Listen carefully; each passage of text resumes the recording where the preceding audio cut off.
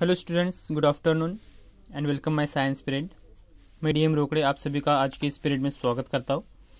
और second semester में science का एट चैप्टर यहाँ पे स्टार्ट करने वाले हैं क्लॉथ्स एंड फाइबर्स ओके मतलब जो हमारे कपड़े होते हैं और कपड़ों में जो धागे यूज़ किए जाते हैं, जो रेशे यूज़ किए जाते हैं, उनके बारे में आज हम इस चैप्टर से इंफॉर्मेशन लेने वाले हैं okay so before explain explanation in this chapter uh, some of the learning objectives.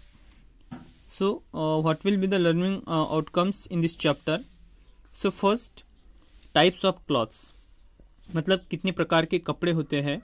इन कपड़ों के प्रकार के बारे में हम यहाँ पे देखने वाले टाइप्स ऑफ़ क्लॉथ्स और सेकंड हमारा ऑब्जेक्टिव है materials for making clothes okay मतलब कपड़े बनाने के लिए जो मटेरियल यूज़ किया जाता है वो किस तरीके से होता है? ओके मतलब मटेरियल्स फॉर मेकिंग क्लॉथ्स कपड़े बनाने के लिए जो मटेरियल्स यूज़ किया जाता है, उस मटेरियल्स के बारे में भी हम यहाँ पे इंफॉर्मेशन लेने वाले हैं। उसके बाद एक थर्ड ऑब्जेक्टिव है कि केयर ऑफ़ क्लॉथ्स यानी कपड़ों की देखभाल किस तरीके से की जाए।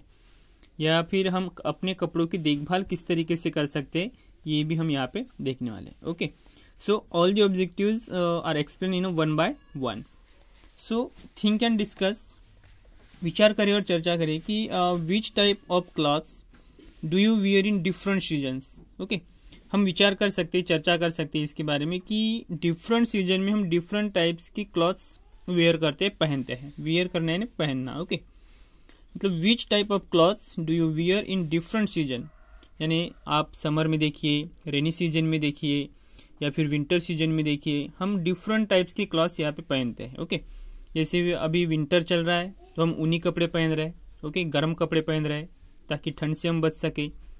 अगर रेनी सीज़न की हम बात करते हैं तो रेनी सीज़न में हम रेनकोट पहनते हैं, जो ख़ास उसी के लिए बनाया जाता है।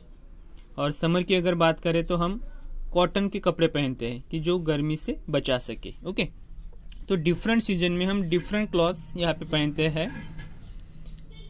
What are your clothes made up of what are your clothes made up of यानी आपके कपड़े किस तरीके से बनते हैं ओके तो आज हम यही देखने वाले हैं कि कपड़ों के प्रकार कपड़े किस तरीके से बनते हैं ओके डिफरेंट सीज़न में किस तरीके से कपड़े पहनने पड़ते हैं, ये भी हम यहाँ पे देख रहे हैं okay so let start our basic needs are food shelter and clothes आपको पता है कि इंसानों की जो ज़रूरतें हैं ओके अभी इंसानों की जो मुख्य ज़रूरतें होती है main okay our basic needs यानी आपकी जो बेसिक ज़रूरत है, वो है सबसे पहले फ़ूड खाना। उसके बाद शेल्टर है मतलब निवारा, और उसके बाद क्लॉस मतलब रोटी, कपड़ा और मकान। ओके रोटी, कपड़ा और मकान, ये हमारी बेसिक नीड्स है। ओके तो ये इन बेसिक नीड्स पे देखिए कि our basic needs are food shelter food मतलब खाना शेल्टर मतलब मकान, यानी रहने के लिए। और क्लॉथ्स पहनने के लिए कपड़े। ये हमारी बेसिक ज़रूरतें हैं ओके और basic needs are food shelter and clothes we can not live without food okay मतलब बिना खाने खाने के हम ज़िंदा भी नहीं रह सकते। रहेंगे लेकिन कितने दिन? ज़्यादा दिनों तक नहीं okay we can not live without food shelter and clothes protect us from changing weather conditions and some other dangers okay अब यहाँ पे देखिए कि हमारी खाने की ज़रूरत होगी यहाँ पे। यानी हमें खाना मिल गया तो हम ज़िंदा रहेंगे। लेकिन देखिए कि shelter and clothes shelter and clothes क्या कर रहे हैं? Protect us from changing weather conditions and some other dangers मतलब समझो कि कोई अगर चेंजेस हो रहा है clothes sorry condition weather condition change हो रही है। ओके okay, तो वेदर कंडीशन चेंज होने के बाद आपको रहने के लिए घर तो चाहिए। Okay okay? पहनने के लिए कपड़े तो चाहिए। पहनने के लिए कपड़े नहीं है और ठंड अगर बढ़ गई है, घर भी नहीं है तो फिर क्या करोगे? तो आदमी तो ठंड से ही बाहर शिकुड़ जाएगा पूरा, ओके? गर्मी हो रही है तो हमें घर के अंदर रहना चाहिए। ऊन ज़्यादा यानी धूप ज़्यादा अगर है तो धूप से बचने के लिए हमें कपड़ों की ज़रूरत होती है, ओके? उसके बाद आराम की ज़रूरत होती है तो इसके लिए शेल्टर एंड क्लॉथ्स बहुत ही हमें प्रोटेक्ट करते हैं ओके तो यही हमने यहाँ पे देखा है। Try it out write W for those clothes shown below that are warm in winter and S S for those warm in summer okay so W for winter and S for summer okay W for winter and S for summer summer तो यहाँ पे आपको ये देखना है कि यहाँ पे जो क्लॉथ्स है, इन क्लॉथ्स को विंटर में कौन से क्लॉथ्स पहने जाते हैं और समर में कौन से क्लॉथ्स पहने जाते हैं, ये आपको कंप्लीट करना है, ओके? तो ये हुआ आपका इंट्रोडक्शंस क्लॉथ्स एंड फाइबर्स के बारे में, जो क्लॉथ्स बनाते वक्त यूज़ किया जाता है, या फिर हम जो कपड़े पहनते हैं उसमें क्लॉथ्स या क्लॉथ्स एंड फाइबर्स को यूज़ किया जाता है। उसके बाद हम फ़र्स्ट हमारा पॉइंट स्टार्ट कर रहे हैं यहाँ पे types of clothes okay types of clothes good clothes make us look smart okay अगर अच्छे कपड़े हैं तो आप पहनने के बाद अच्छे दिखते हो. Okay okay? मतलब good clothes make us look smart मतलब अच्छे कपड़े आप अगर पहनते हो तो आप अच्छे दिखते हो स्मार्ट दिखते हो. Okay they also protect our body from cold heat rain dust and insect bites. Okay मतलब कपड़े पहनने से क्या होता है कि हम, हमने कपड़े पहने हैं। तो कपड़े पहनने के बाद क्या होता है, हम तो स्मार्ट दिख रहे हैं, लेकिन स्मार्ट दिखने के बाद बाद they also protect our body मतलब कपड़े क्या कर रहे हैं, हमारे बॉडी को प्रोटेक्ट कर रहे हैं। किससे? ठंड से मतलब कोल्ड हीट गर्मी से रेन बारिश से। उसके बाद डस्ट ओके डस्ट से हमें वो प्रोटेक्ट कर रहे हैं। एंड इंसेक्ट बाइट्स यानी कोई भी कीड़े हमें काट ना सके, इसलिए कपड़े हमारी मदद करते हैं, हमें प्रोटेक्ट करते हैं। मतलब हमने कपड़े पहने तो हम हम ठंड से बच गए, गर्मी से बच गए, बारिश से बच गए, और उसी के साथ साथ हम रास्ते से चलते हैं तो डस्ट उड़ती है तो डस्ट हमारे शरीर से नहीं चिपकती है, हमारे बॉडी को नहीं चिपकती है, वो कपड़ों के ऊपर होती है। मतलब कपड़े हमारे बॉडी को प्रोटेक्ट कर रहे हैं। अगर कोई इंसेक्ट इंसेक्ट होता है तो इंसेक्ट काटने के लिए आएगा तो वो कपड़ों पे काटेगा ना पहले।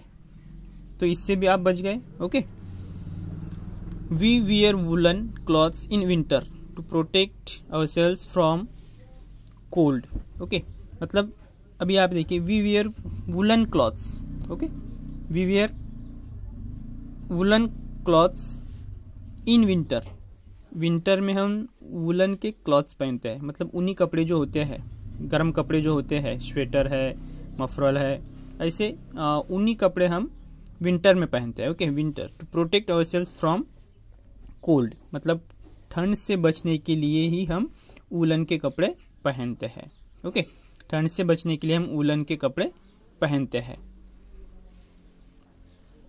Cotton clothes protect us from the heat of the sun अभी देखो देखो कि विंटर में हमने उलन कपड़े पहने हैं और समर में हमने कॉटन कपड़े पहने हैं।